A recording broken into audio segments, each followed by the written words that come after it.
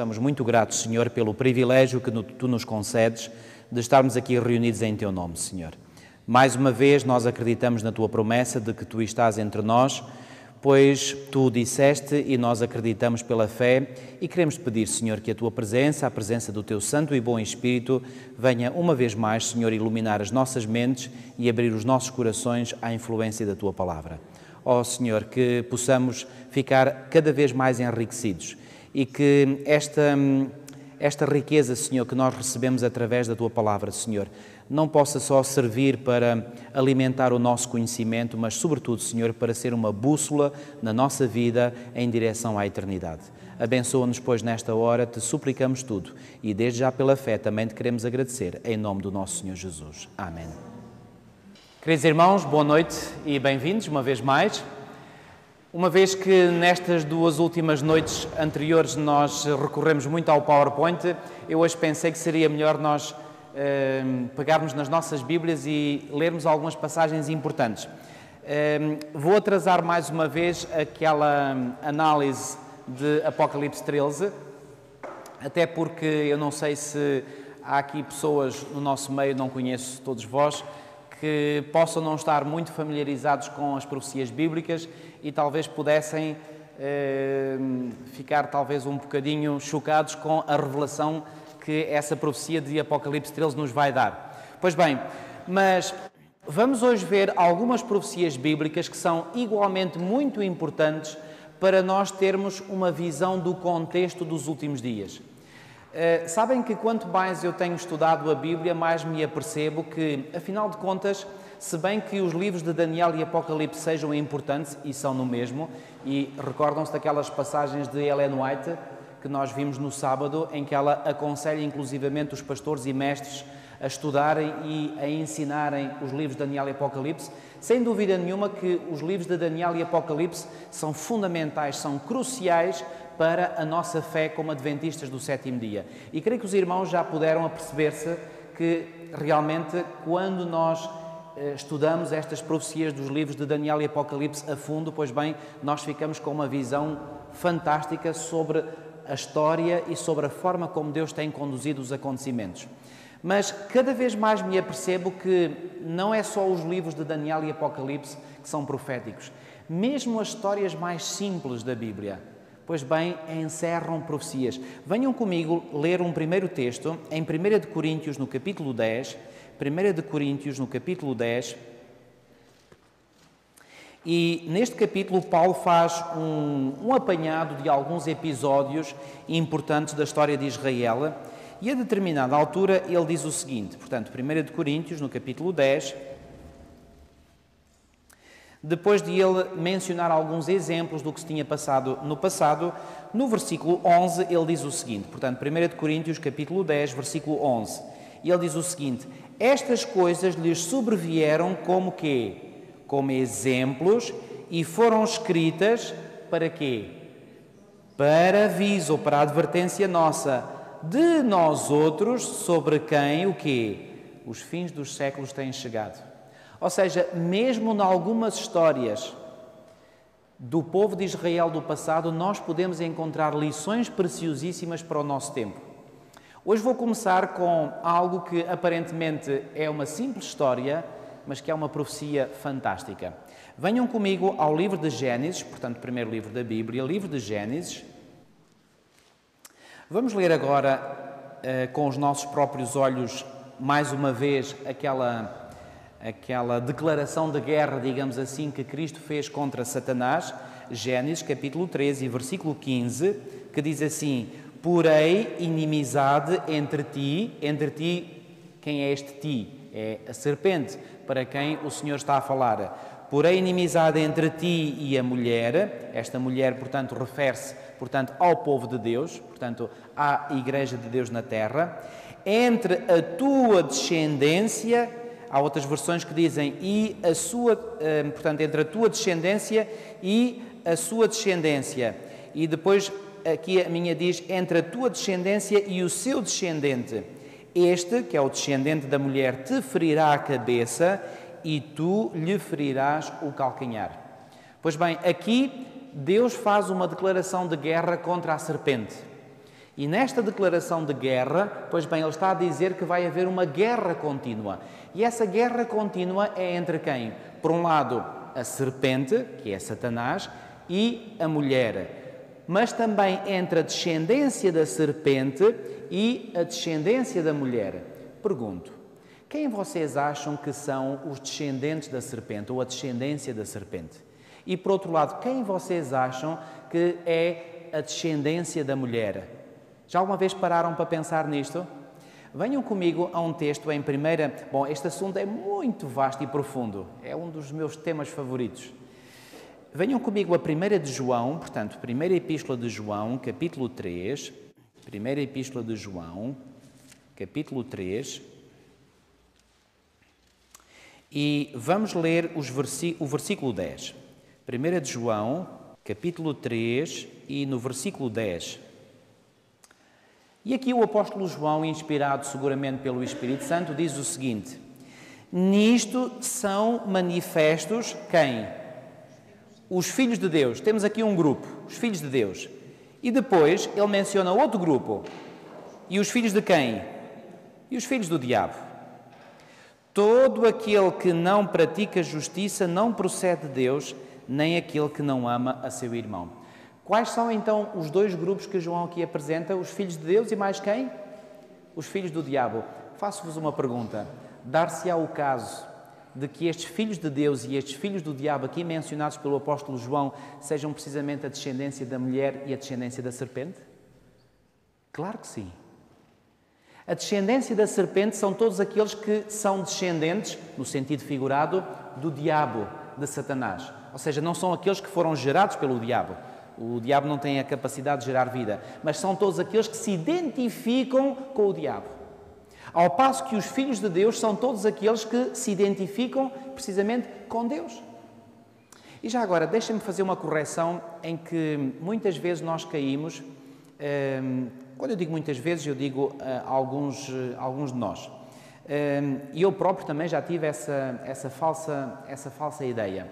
Muitas vezes nós dizemos eu creio que ao fazermos isso até o fazemos sem, sem más, mal, mal intenção, mas convém nós refinarmos a nossa linguagem, porque hum, às vezes sem querermos podemos estar a dizer uma imprecisão. Reparem bem, muitas vezes nós temos a tendência a dizer, quando eu digo nós, não estou a dizer que sejam os irmãos, mas a, existe alguma tendência para dizer que todas as pessoas que habitam à face da terra são filhos de Deus. Já alguma vez Uh, ouviram isso ou pensaram nisso? Pois bem, deixem-me dizer-vos claramente que essa afirmação é falsa. Vocês dirão, como assim? Então, mas nem todos foram criados por Deus? Sim, é verdade. Todos os habitantes deste planeta que vivem hoje, que já viveram no passado e que hão de viver, todos são criaturas de Deus. Não temos dúvidas sobre isso. Mesmo aqueles que negam que Deus, existe um Deus e que esse Deus é um Deus criador, pois bem, também eles são criaturas de Deus. Quer aceitem, quer não aceitem. Mas nem todos são filhos de Deus. Venham comigo ver alguns textos em João, no Evangelho de João, no capítulo 1. João, capítulo 1. Hoje vamos ver este assunto que é extremamente importante para nós compreendermos a profecia, a profecia bíblica e, sobretudo, os últimos acontecimentos. João, capítulo 1, João capítulo 1, e vamos ler o versículo 12. Já agora, permitam-me ler também o versículo 11. Veio para o que era seu e os seus não o receberam. Está a referir-se a quem? Está a referir-se ao verbo que vem mencionado no versículo 1. Deixem-me ler o versículo 1. No princípio era o verbo, e o verbo estava com Deus, e o verbo era quê? E o verbo era Deus. E então depois o versículo 11 diz: Veio para o que era seu e os seus não o receberam. E agora reparem, versículo 12. Mas a todos quantos o receberam, receberam a quem? A Jesus Cristo, deu-lhes o poder de serem feitos o quê? Filhos de Deus. Então quem é que recebe o poder de ser feito filho de Deus? Aos que recebem a Jesus Cristo. Ora, daqui se depreende que todos aqueles que não aceitam Jesus Cristo como seu Salvador não são feitos filhos de Deus. Eu pergunto: se não são filhos de Deus, são filhos de quem? É filhos do diabo. Para usar a expressão bíblica, não é uma expressão que eu estou a inventar, está cá na Bíblia. Só aqueles que aceitam Jesus Cristo como seu Salvador é que passam de filhos do diabo para filhos de Deus. Ou seja, quando eu aceito, quando cada um de nós aceita Jesus Cristo, há uma transição de reino. Saímos do reino de Satanás e ingressamos no reino de Cristo. Venham comigo ler outro texto em Romanos capítulo 8, Romanos capítulo 8, Romanos capítulo 8 e o versículo 16. Portanto, aquele texto que acabámos de ler, em João 1, 12, diz-nos claramente que só aqueles que o receberam é que recebem o poder de serem feitos filhos de Deus. E agora repare o que é que diz aqui Paulo aos Romanos, capítulo 8, versículo 16. Pois todos os que são guiados por quem? Pelo Espírito de Deus são quê? São filhos de Deus. Então, qual é outra característica para ser filho de Deus? É ser guiado por quem? Pelo Espírito de Deus. Pergunto: quem não recebe Jesus Cristo como seu Salvador pode ser guiado pelo Espírito de Deus? Vocês acham que é possível? É evidente que não. Portanto, mas quando alguém recebe Jesus Cristo como seu Salvador, pois bem, essa pessoa recebe, digamos, a garantia logo eh, aliás, há um texto do apóstolo Paulo onde ele diz que todos aqueles que recebem Cristo, pois bem, recebem a garantia da salvação através do Espírito que lhes é dado. E esse Espírito, pois bem, agora vai guiar o novo crente em Cristo. E então aqui o apóstolo Paulo diz muito bem que todos os que são guiados pelo Espírito de Deus são filhos de Deus. Venham comigo outra vez à primeira epístola de João, 1 de João, capítulo 3, 1 de João, capítulo 3, mas agora vamos ler os versículos 1 e 2. 1 de João, capítulo 3, versículos 1 e 2, que diz o seguinte: Vede que grande amor nos tem concedido o Pai, a ponto de sermos chamados, sermos chamados o quê? Filhos de Deus. Estão a ver aqui esta expressão? E agora reparem o que é que ele continua dizendo. E de facto somos filhos de Deus. Por esta razão, o mundo que conhece-nos muito bem, é isso que lá está? Não nos que não nos conhece. Por que não nos conhece? Porque o mundo é constituído por quem? Pelos filhos do diabo, e os filhos do diabo não conhecem os filhos de Deus, porque estão em, em completa oposição um grupo do outro. E ele diz: Por essa razão o mundo não nos conhece, porquanto não o conheceu a ele mesmo. E agora repare o que ele diz no versículo 2: Amados, agora, e este agora é muito importante, este advérbio de tempo aqui, agora somos quê? Agora somos filhos de Deus. O que é que isto pressupõe? Pressupõe que antes não éramos. Agora somos filhos de Deus. Então, veem claramente que a Bíblia faz uma clara distinção entre aqueles que são filhos de Deus e aqueles que não são filhos de Deus? Portanto, é errado nós dizermos que todas as pessoas que habitam sobre o planeta são filhos de Deus. São criaturas de Deus. Isso é verdade, são criados. Todos os homens e mulheres que vivem sobre este planeta foram criados por Deus. Nós viemos à existência pelo poder de Deus, quer as pessoas admitam isso, quer não. Eu às vezes costumo dizer para, para as pessoas mais céticas que não acreditam na existência de Deus, eu costumo usar aquele exemplo das pessoas que durante a Idade Média não acreditavam que a Terra era redonda. Aliás, acreditavam que a Terra era plana. Alguns até pensavam que se chegasse até ao limite da Terra, pois bem podiam cair num abismo. Já ouviram essas ideias? Pergunto: o facto da maioria das pessoas durante séculos e séculos durante a Idade Média ter acreditado que a Terra era plana fez alguma vez com que a Terra fosse plana? Não. A Terra sempre foi redonda. Aliás, a Bíblia tem um texto em Isaías que diz que Deus está assentado sobre a redondeza da terra. Isaías, que viveu sete séculos antes de Cristo, pois bem inspirado por Deus, fala da redondeza da terra. E muitos séculos depois de Isaías, as pessoas acreditavam que a terra era plana. Mas o facto da maioria, reparem, a maioria, o facto da maioria das pessoas eh, acreditar que a terra era plana, nunca transformou a terra em plana. A terra sempre foi redonda. Então eu costumo dizer para algumas pessoas que não creem: olha, quer você acredite, quer não, uma coisa é certa: Deus existe. Ponto final.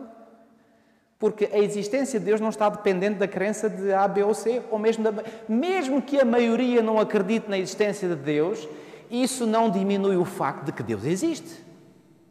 Assim como durante séculos o facto de da maioria acreditar que a Terra era plana não transformou a Terra no, no, em algo plano. Estão, estão a entender o meu raciocínio?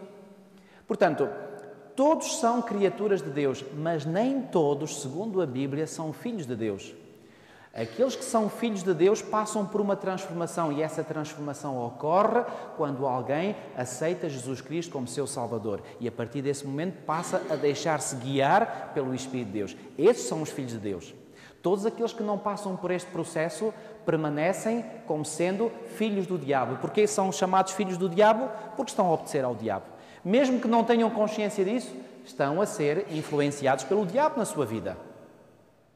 E meus amigos, eu gostaria que vocês compreendessem a partir de Gênesis 3,15 que quando Jesus fez esta declaração, que foi Jesus que esteve lá no Éden, quando Jesus fez esta declaração à serpente, ele fez uma enorme profecia, dizendo que a história humana, a partir daquele momento, ia ser uma história que era caracterizada por haver dois grupos distintos a descendência da mulher, ou seja, os filhos de Deus, e a descendência da serpente, ou seja, os filhos do diabo. E deixem-me dizer-vos mais. Se vocês lerem a Bíblia com atenção, hão de reparar que ao longo da história, de toda a história, sempre houve estes dois grupos. E hoje continua a haver. E vocês dirão, mas quem é quem? Deixem vir comigo, uh, deixem, uh, venham comigo ler um outro texto Ehm, palavras de Jesus em Mateus capítulo 13. Mateus capítulo 13. Mateus capítulo 13. E a partir do versículo 24, nós temos aqui eh, uma parábola que Jesus contou, uma parábola que todos nós conhecemos muito bem, aliás, como todas as parábolas de Jesus. E aqui, a partir do versículo 24 do capítulo 13, diz assim: Outra parábola lhes propôs, dizendo: O reino dos céus é semelhante a um homem que semeou boa semente no seu campo. Mas enquanto os homens dormiam, veio o inimigo dele, semeou o joio no meio do trigo e retirou-se. E quando a erva cresceu e produziu fruto, apareceu também o joio. Então, vindo os servos do dono da casa, lhe disseram: Senhor, não semeaste boa semente no teu campo? De onde vem, pois, o joio? Ele, porém, lhe respondeu: Um inimigo fez isso.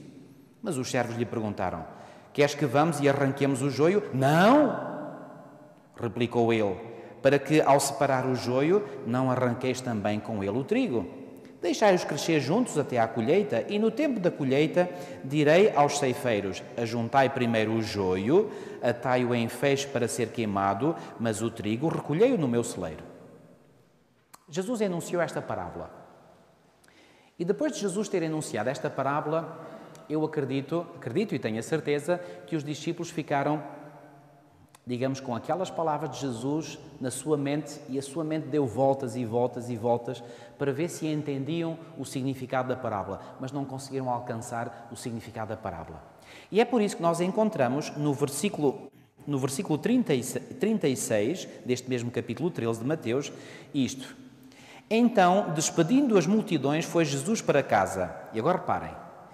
E chegando-se a ele, a ele quem? A ele, os, a ele Jesus, os seus discípulos disseram: Explica-nos a parábola do joio do campo. Porquê que eles pediram a Jesus que explicasse a parábola? Porque, logicamente, eles não a tinham compreendido. Se tivessem compreendido, não teriam pedido a explicação a Jesus.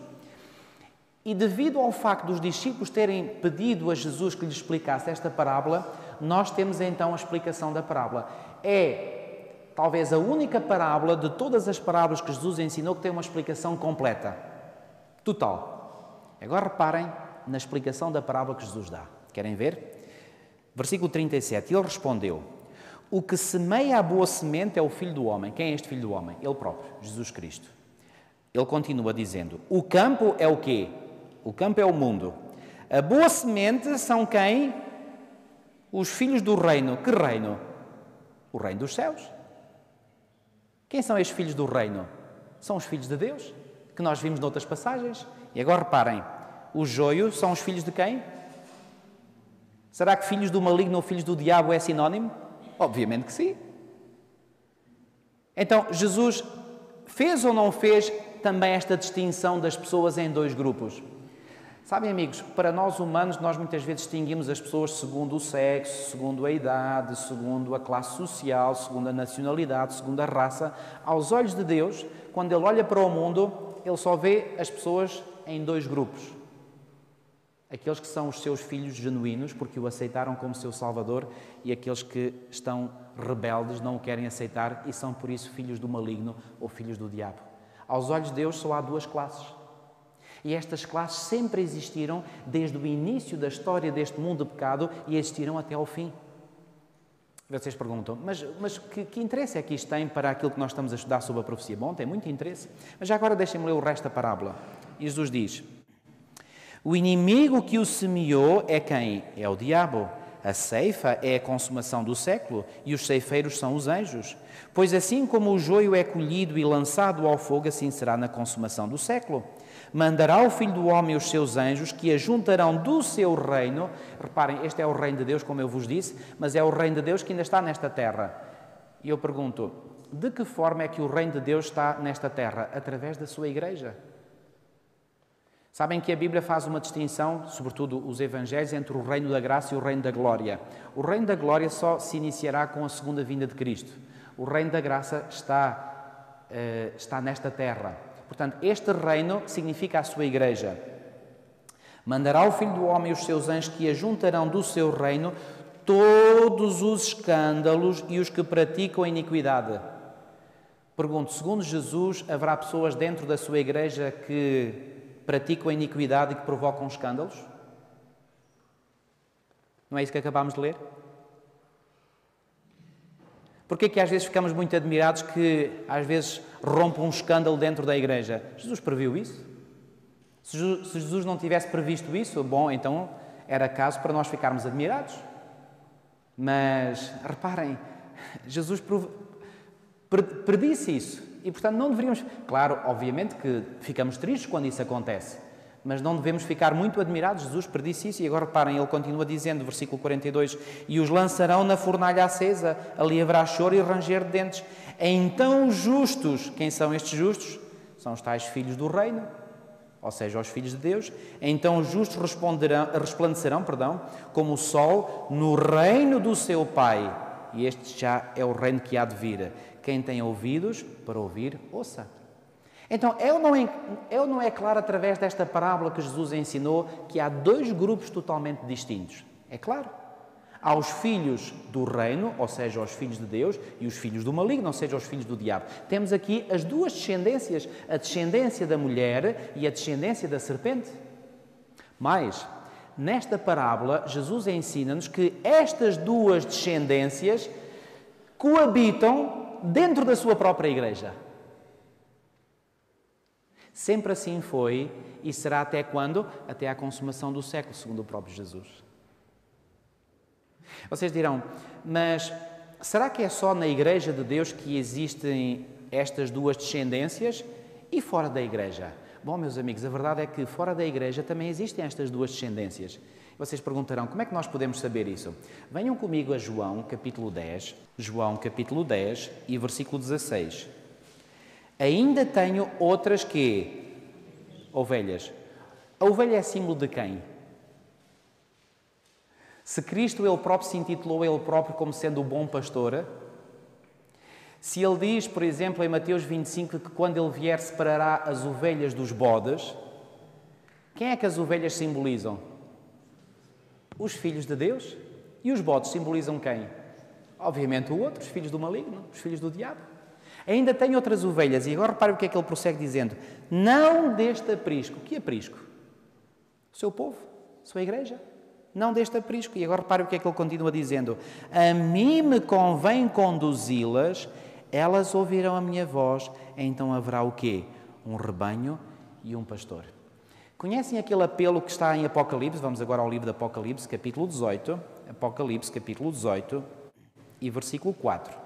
Não vamos aqui perder tempo a analisar os versículos, porque não temos tempo para isso, mas vou apenas mencionar ou ler este versículo 4, que é seguramente bem conhecido de todos vós também, que diz assim: Ouvi outra voz do céu dizendo: Retirai-vos dela, dela Babilónia.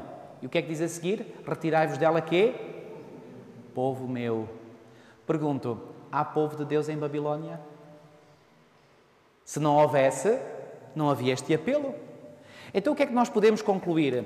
Dentro da Igreja de Deus há o joio e há o trigo, ou seja, há os filhos do maligno e os filhos de Deus. Mas na Babilónia, que simboliza o mundo em geral, também vai existir até um determinado tempo povo de Deus. Daí este apelo: retirai-vos dela, Babilónia, povo meu. A propósito, eu disse-vos, e agora vamos entrar nestas histórias que são importantes e que são proféticas. Vocês lembram-se que depois do dilúvio hum, houve. Eh, sabem que através dos três filhos de Noé, não estou a dizer nada que os irmãos não saibam, sei disso, hum, através dos três filhos de Noé, sem quem Jafé, segundo vem mencionados da Bíblia, embora hum, esta ordem não seja do, portanto, mais, do mais velho para o mais novo, eh, sem não era o mais, o mais velho, através dos três filhos de Noé se repovoa novamente todo o planeta. E sabemos que aqueles. Uh, eu, eu, talvez. Vamos um bocadinho atrás. Venham comigo, por favor, uh, que é para darmos uma outra sequência. Venham, por, por favor, comigo a Gênesis capítulo 4. Vamos dar outra sequência. Gênesis capítulo 4. E aqui em Gênesis capítulo 4, nós vamos ver a primeira manifestação destas duas descendências diferentes que o Senhor profetizou que haveria de haver e que estariam permanentemente que em conflito uma com a outra. Por a inimizade entre ti e quem? Entre ti e a mulher. Meus amigos, não se esqueçam disto. Se Deus profetizou, se Ele próprio profetizou que entre estas duas descendências, repito, a descendência de quem? A descendência da serpente e a descendência da mulher há uma inimizade, poderemos nós tentar ser ou pensar que somos inteligentes o suficiente para conseguir criar uma harmonia entre estas duas descendências? Meus amigos, quantas vezes o povo de Deus tem procurado fazer uma aliança com quem nunca deveria fazer uma aliança. Eu, eu já vou mais à frente eh, enfatizar mais este, este mas agora eu quero que vocês compreendam a primeira história que é mencionada em Gênesis 4, a história de dois irmãos. Vocês sabem quem são? Caim e Abel. E nestes dois irmãos, os primeiros filhos de Adão e Eva, nós encontramos logo precisamente as duas descendências. Venham comigo a 1 de João, capítulo 3, novamente. João, ele, ele compreendeu claramente este assunto. 1 de João, capítulo 3, 1 de João, capítulo 3, versículo 12, diz assim: Não segundo Caim, que era do. que era de quem? De quem era então Caim? Era de Deus? Não, João diz que ele era de quem? Do maligno. Não, segundo Caim, que era do maligno, e assassinou a seu irmão. E por que o assassinou? Porque as suas obras eram más e as de seu irmão justas. Houve acordo possível, ou entendimento, ou a possibilidade de viverem continuarem a viver em harmonia um com o outro, estes dois irmãos? Não. Sabem porquê? Porque eles pertenciam a duas famílias espirituais que são opostas entre si. Quem era do maligno? E agora pensem nisto, meus amigos. Quando. Vocês. Já agora vamos ver aqui pormenores muitíssimo interessantes. Os dois eram irmãos, filhos do mesmo pai e da mesma mãe, certo?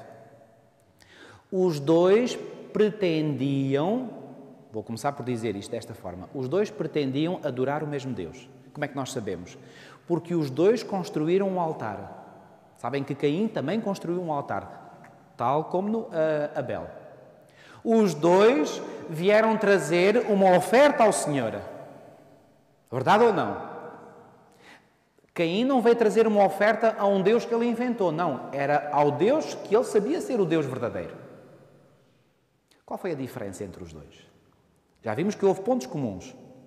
E os pontos comuns eram: queriam adorar e servir o mesmo, o mesmo Deus, oferecer, uh, construíram os dois um altar, os dois ofereceram uma oferta.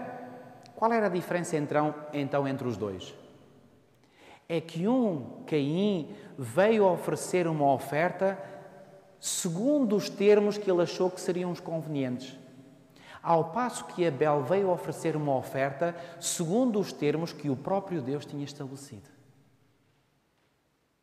Abel ofereceu um sacrifício ao Senhor não de acordo com aquilo que ele pensava ser o correto, mas de acordo com aquilo que Deus tinha dito que era a forma correta de o adorar. E que tipo de sacrifício é que Abel trouxe? Trouxe um animal e ofereceu em sacrifício. E porquê? Porque esse sacrifício apontava precisamente para o sacrifício feito pelo próprio Deus. A Bíblia diz em Hebreus 9, 22 que sem derramamento de sangue não há remissão de pecado. O próprio Deus tinha sido aquele que no jardim do Éden, no dia em que os pais tinham pecado, matou dois animais. Como é que nós sabemos isso?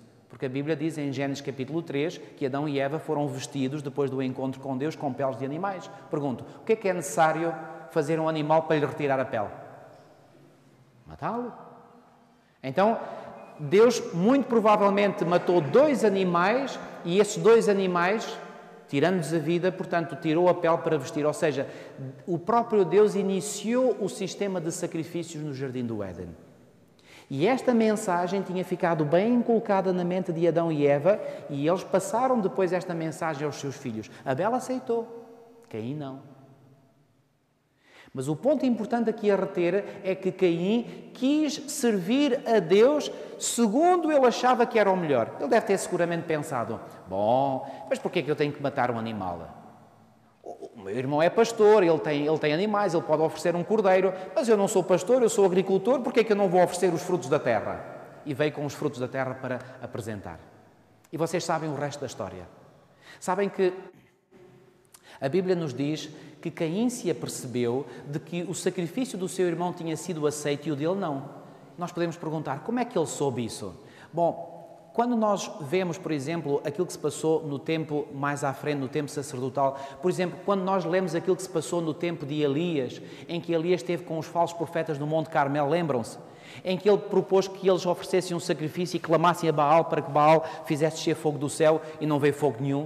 Houve uma altura que ele até começou a gozar. Olha, gritem mais alto, pode ser que o vosso Deus esteja a dormir, ou esteja em viagem, ou esteja cansado. Gritem mais alto. E eles, deixem-me dizer, parvos, continuaram a gritar ainda mais não veio nada.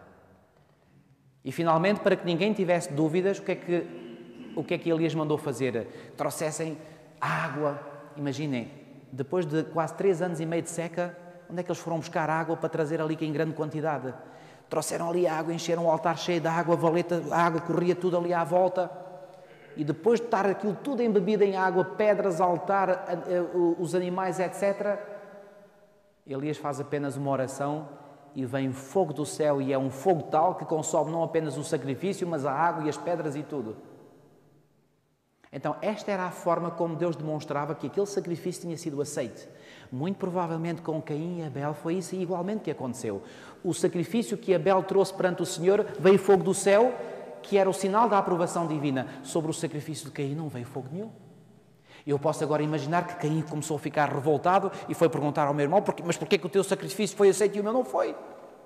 E eu acredito naquela altura Abel terá dito: olha, mas porquê que tu não fazes de acordo com aquilo que Deus pede? E eu posso imaginar que naquela altura Caim disse: mas o, agora tu és o meu irmão mais novo e estás-me a ensinar a mim que sou mais velho. E ficou de tal maneira furioso com o seu irmão que se levantou contra ele e quê? E matou. Quem é que matou quem? Foi o justo que matou o ímpio ou foi o ímpio que matou o justo? Foi o ímpio que matou o justo. Porquê?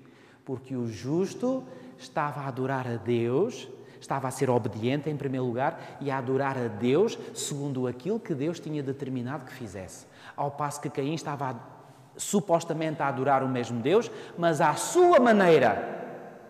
Está claro este ponto? Sabem uma coisa, amigos? Esta história de Caim e Abel é uma profecia. Vocês dirão, como assim? Quando nós chegamos ao capítulo 16 de Apocalipse e se fala sobre a guerra do Armagedon, que muitos milhões de protestantes, sobretudo nos Estados Unidos, andam a tentar imaginar o que é, que é essa guerra do Armagedon, eles não conseguem descobrir que a primeira batalha do Armagedon que houve na história foi entre Caim e Abel. E vou-vos dizer uma coisa: aquilo que se passou com Caim e Abel no início da história humana vai se passar no fim da história humana. Porquê? Porque no tempo do fim haverá. Não se esqueçam que Caim era de quem? Nós lemos 1 de João 3,12, era do maligno. E Abel seria de quem? Era de Deus, era um filho de Deus. O filho do diabo matou o filho de Deus. Já alguma vez leram em Apocalipse 13 que no tempo do fim haverá pessoas que farão um decreto de morte para matar quem? Os filhos de Deus. E sabem porquê? Pelas mesmas razões pelas quais Caim matou o seu irmão Abel. Porque esses filhos de Deus sobre quem sairá um decreto de morte são pessoas que são obedientes a Deus e servem a Deus segundo aquilo que Ele determinou e não como eles pensam que deve ser. E agora eu faço-vos a pergunta: no caso de Caim e Abel, foi um irmão que matou um irmão. Quem é que vocês acham que no tempo do fim vai querer matar o povo de Deus? Meus amigos, deixem-me dizer-vos claramente: não são pessoas que se intitulam elas próprias como sendo agnósticas ou ateias.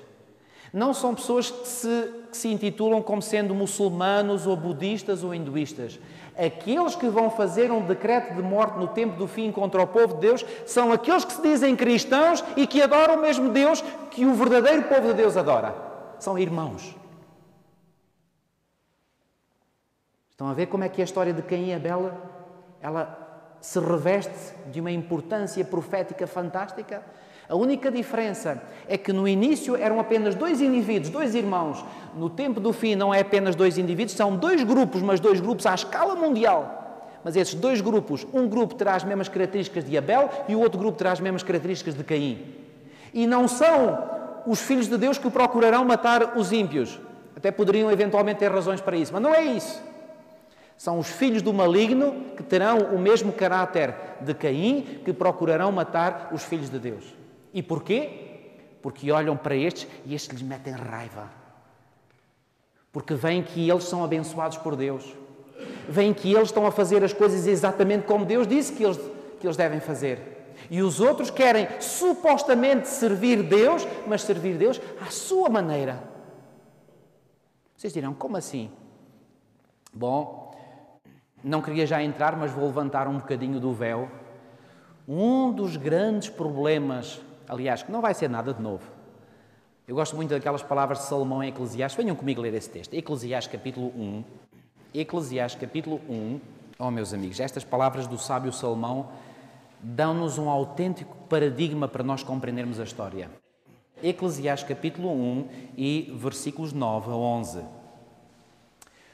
O que foi é o quê? É o que há de ser. E o que se fez, isso se tornará a fazer. E o que é que diz o resto do versículo 9? Há muitas coisas novas debaixo do sol. Nada há, pois, novo debaixo do sol. Quantas coisas há novas debaixo do sol, segundo Salomão? Nenhuma. Versículo 10. Há alguma coisa de que se possa dizer, vê isto é novo? Resposta enfática: não. E é um não com um ponto de exclamação à frente. É um não enfático. Não! Já foi nos séculos que foram antes de nós. Já não há lembrança das coisas que precederam, e das coisas posteriores também não haverá memória entre os que hão de vir depois delas. Aquilo que Salomão está a dizer, sobretudo aqui neste versículo 11, é o seguinte: Bom, o que se passa é que as pessoas têm memória curta. E porque não se lembram daquilo que se passou no passado, pois bem, acham que pode haver coisas novas no presente. Mas não há nada de novo debaixo do sol. Aquilo que se fez é o que se tornará a fazer. Aquilo que aconteceu com Caim e Abel vai se repetir novamente. E repito, a única diferença é que no início eram dois indivíduos, no tempo do fim serão dois grupos à escala mundial. E um grupo terá raiva, terá ódio. Porquê? Porque, tal como Caim, são do maligno. Mas dizem-se cristãos. Dizem adorar a Deus, mas adoram Deus à maneira deles. Dou-vos um exemplo. Grande parte, a maioria dos que se chamam cristãos hoje, por exemplo, eu uma vez comprei em 1998 uma encíclica papal, onde o título era O Dia do Senhor. Disse, deixa cá ver se eu aprendo alguma coisa aqui com este livro. Bom, Dia do Senhor. E fiquei estupefacto ao ver que nesse livro, o Papa na altura, João Paulo II, pois bem, pegava em imensos versículos bíblicos, versículo, os versículos bíblicos de Gênesis, por exemplo, que falam sobre a criação, quando Deus abençoou, santificou o dia de sábado, depois citava textualmente o mandamento, o quarto mandamento de Êxodo 20, etc. Uma série de textos na Bíblia que falam sobre o sábado. E depois diziam, pois bem, este sábado bíblico, pois bem, para os cristãos não é o sábado, é o domingo. O que é que é isto? É servir Deus à nossa maneira. Deus diz que é para fazer, para nós termos um encontro especial com Ele no sétimo dia da semana, que é o que diz o mandamento. Há uns que dizem, ah, mas, mas será que o sábado é, é, é, mesmo o sábado que nós hoje guardamos? Diz lá o sétimo dia da semana. E vocês dirão, como é que se pode provar que o, que o sábado é o sétimo dia da semana? É muito simples, amigos. Sabem como? Eu um dia estava na Suíça, trabalhava lá na nossa clínica e havia lá alguns empregados que eram protestantes. E um dia estávamos, eu estava a falar com eles e eu fiz-lhes a seguinte pergunta: Diga uma coisa, segundo vós, qual é o primeiro dia da semana? Eu estava à espera, eh, a resposta que me deram foi a resposta que eu estava à espera. Eles disseram: o primeiro dia da semana é segunda-feira. Eu pensei que era para comigo, ótimo, ainda bem que responderam dessa maneira. Eu disse assim: Ok, vocês não se importam que eu abra a minha Bíblia e vos mostre nos Evangelhos qual foi o dia em que Jesus ressuscitou? Eles disseram, não, não há problema nenhum. Então fui a Marcos, fui a Mateus, depois fui a Marcos, depois fui a Lucas e fui a João. E sabem os irmãos que em nenhum destes quatro Evangelhos nos é dito que Jesus ressuscitou ao domingo. Podem procurar. O que lá está. Bom, há versões hoje modernas que põem domingo mas na versão original e na maior parte das versões não diz lá domingo, diz primeiro dia da semana. Eu disse, ok, então vocês ver, viram que na Bíblia diz, e na versão francesa também diz, le premier jour de la semaine, primeiro dia da semana. Então vocês puderam ver que quer em, Marco, em Mateus, quer em Marcos, quer em Lucas, quer em João, diz que Jesus ressuscitou no primeiro dia da semana. Vocês há bocadinho disseram que o primeiro dia da semana é segunda-feira. Então, se o primeiro dia da semana é segunda-feira, então Jesus ressuscitou à segunda-feira. Então, se Jesus ressuscitou à segunda-feira, por que vocês guardam o domingo em honra da ressurreição de Jesus?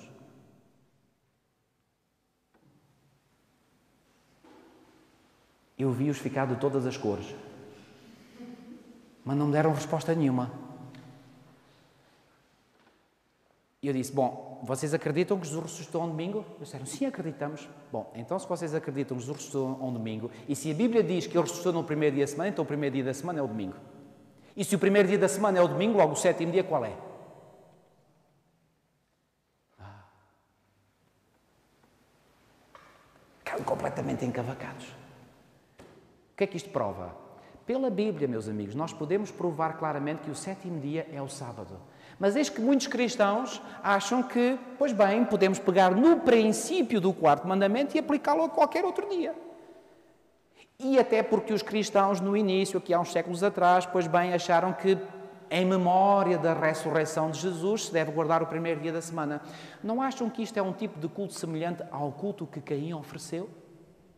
Ele também supostamente estava a guardar, a, a honrar e, e, o mesmo Deus, estava, estava a fazer um sacrifício ao Deus verdadeiro. Mas era segundo aquilo que Deus tinha dito exatamente que ele deveria fazer? Ou foi segundo a sua própria maneira de pensar, segundo a sua maneira. Meus amigos, milhões e milhões de pessoas hoje que se dizem cristãs, que dizem adorar o mesmo Deus, alguns dizem, oh, nós adoramos o mesmo Deus.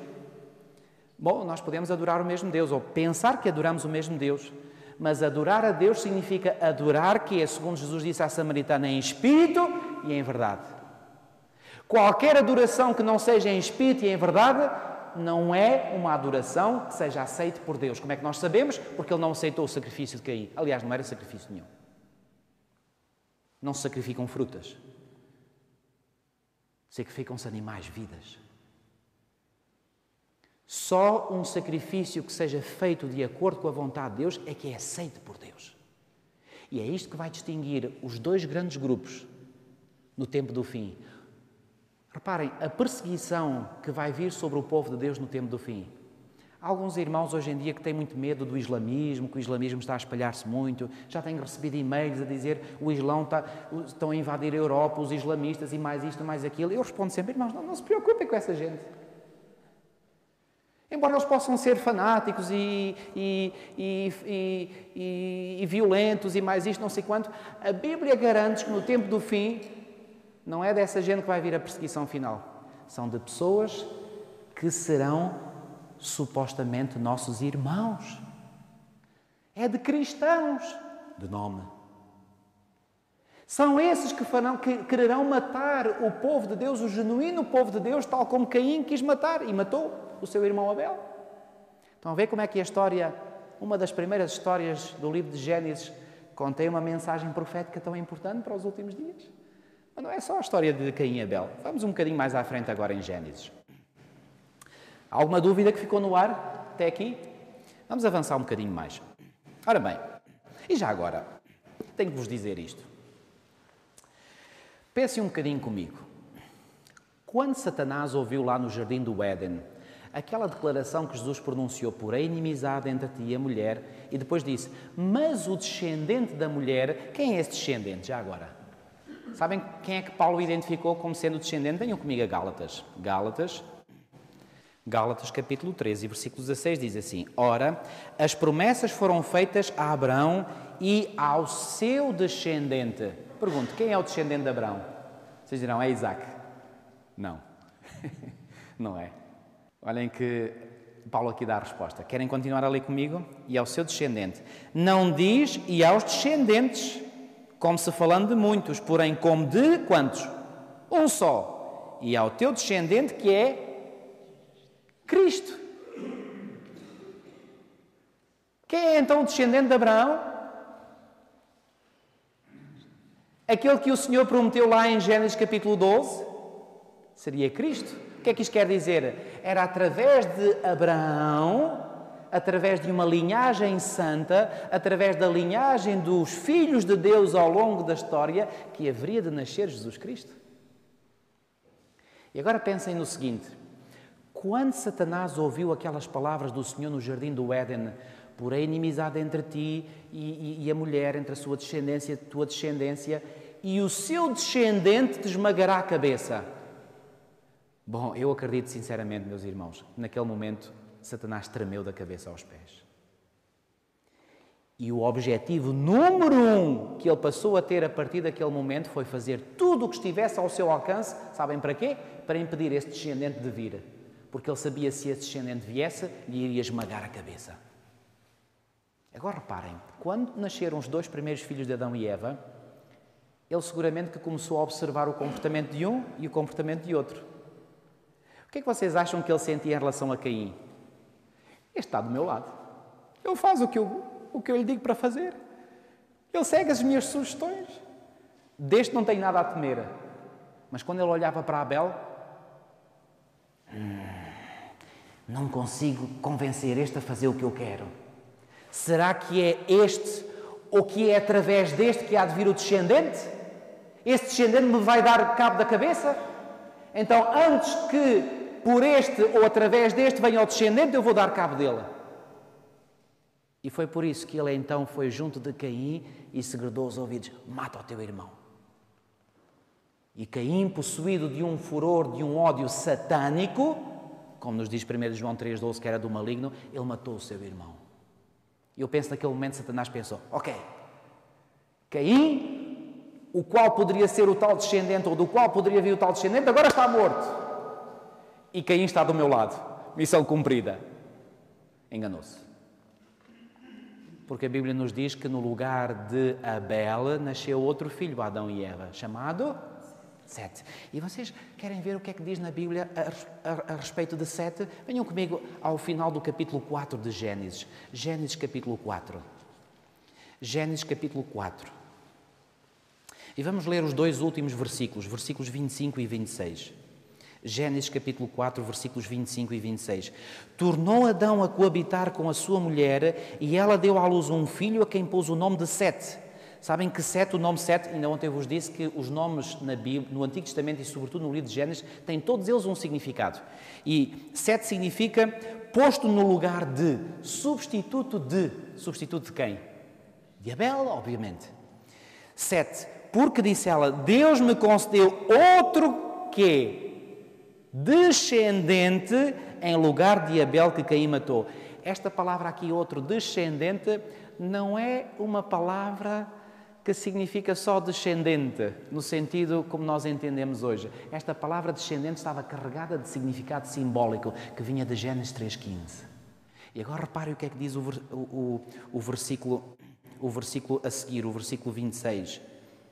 A Sete nasceu-lhe também um filho, ao qual pôs o nome de Enos, e agora reparem, daí se começou a invocar o quê?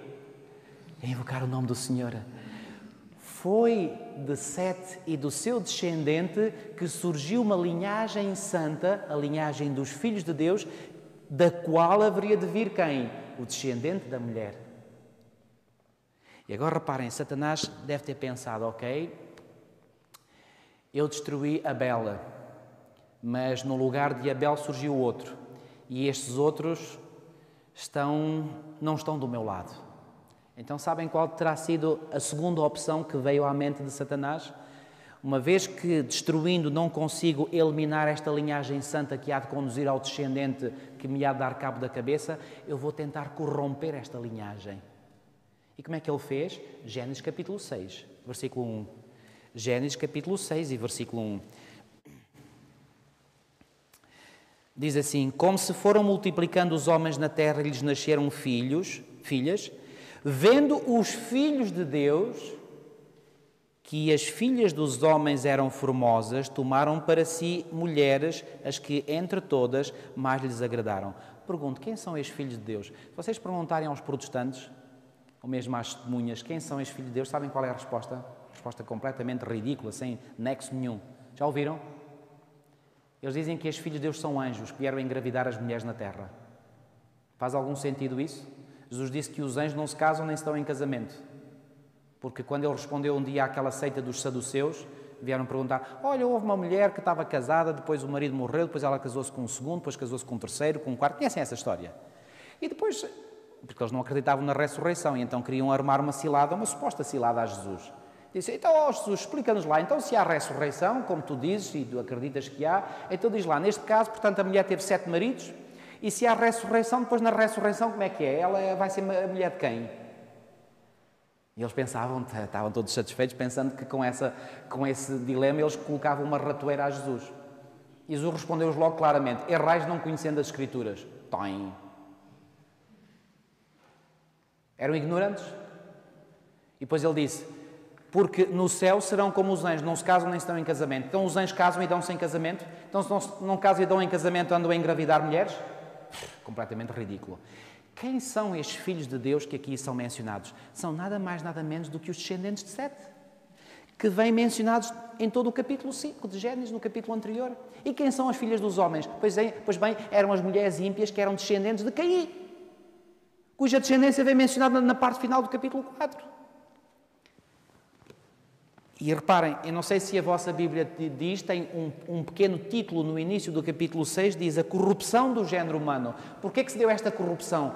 Porque os filhos de Deus, os descendentes de Sete, começaram a misturar-se com os descendentes de Caim. A linhagem santa começou a misturar-se com a linhagem ímpia. Por outras palavras, os filhos de Deus começaram a misturar-se com os filhos do maligno, com os filhos do diabo. Mas Jesus não tinha previsto que entre estas duas descendências há inimizade mas eles tentaram fazer aquilo que Deus tinha dito que não funciona.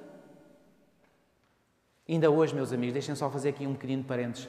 Ainda hoje nós pensamos que podemos contrariar aquilo que Deus disse que não funciona. E reparem, isto não funciona não só em casamentos, não funciona em relações laborais, não funciona em relações de amizade, não funciona. E nós às vezes pensamos que temos que forçosamente ser amigos de todas as pessoas. Atenção, amigos, deixem-me dizer-vos isto. Nós temos que ser respeitadores de todos. E, segundo o apóstolo Paulo diz, se possível, tanto quanto depender de vós, está em Romanos 12, ele diz assim: se possível, tanto quanto depender de vós, venham ver comigo este texto. Muito importante. Romanos capítulo 12. Portanto, Romanos capítulo 12, versículos 17 e 18. Não torneis a ninguém mal por mal, esforçai-vos por fazer o bem perante quantos homens? Todos os homens. E agora repare o que diz o versículo 18. Se possível, quanto depender de vós, tende quê? Tende paz com quantos homens? Com todos os homens. Nós devemos que fazer o bem a todos os homens, se possível, quando depender de nós, ter paz com todos. Mas ter paz com todos, respeitar a todos, não significa que devemos ser amigo de todos. Está claro este ponto? Ou seja, não há aliança possível, reparem, venham comigo a 2 de Coríntios, 2 de Coríntios, capítulo 6, e a partir do versículo 14. Não vos ponhais em julgo desigual com quem? O que é que lá diz? Com os incrédulos. Quem são estes incrédulos? São os que não acreditam em Deus. Se não acreditam em Deus, são filhos de quem? De Deus ou do maligno? Do maligno. Não vos ponhais em julgo desigual com os incrédulos. Há alguém que pensa que isto só é válido para os casamentos. Não é só para os casamentos, para os casamentos também, claro. E já agora, eu faço aqui um solene apelo a todos os jovens. Jovens, não vos ponhais em julgo desigual com alguém que não partilha da mesma fé e não honra o mesmo Deus que vós honrais. Todos aqueles que pensam que conseguem. Eu, eu, eu tenho dito às vezes mesmo, é uma autêntica estupidez nós queremos ir contra um assim, diz o Senhor. Se Deus diz que não funciona, por que nós somos, desculpem a expressão, somos estúpidos pensando que somos mais inteligentes do que Deus e conseguimos fazer funcionar aquilo que Deus disse que não funciona. Não funciona. O que é que pode acontecer quando duas pessoas estão juntas, por exemplo, numa aliança matrimonial e um quer ir para aqui, outro quer ir para ali? Só há três hipóteses, meus amigos.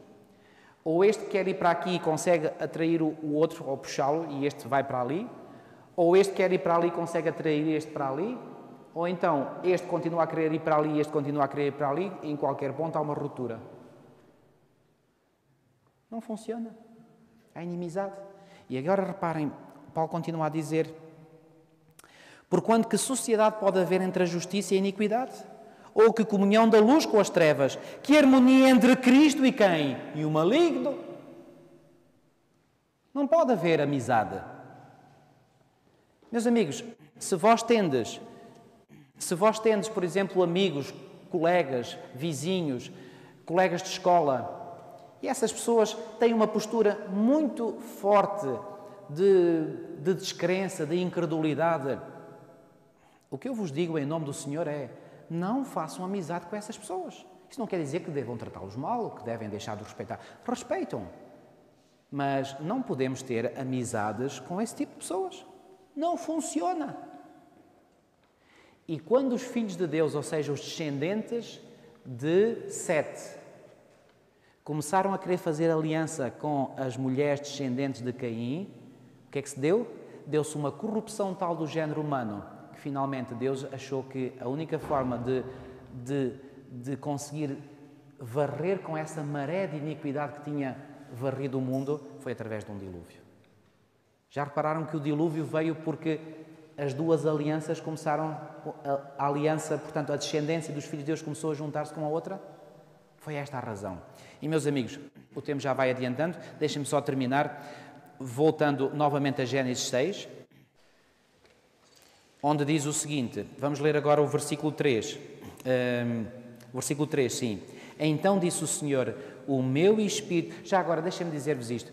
Ellen White, no livro Patriarcas e Profetas, ela diz que durante vários séculos os filhos de Deus foram viver para as montanhas para não se associarem com os filhos, os filhos, portanto, do maligno, com os descendentes de Caim. Os descendentes de Caim tomaram posse dos locais mais férteis da terra, dos vales, das planícies, eram os locais mais férteis. Ainda hoje os filhos de Diabo fazem a mesma coisa, aproveitam-se das melhores condições.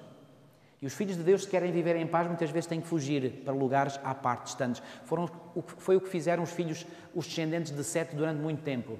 Mas a determinada altura começaram a achar que, ah, pois bem, não vamos manter-nos separados muito tempo, se calhar eles até têm boas intenções, e começaram a pouco e pouco a aproximar-se. E essa aproximação resultou em desgraça.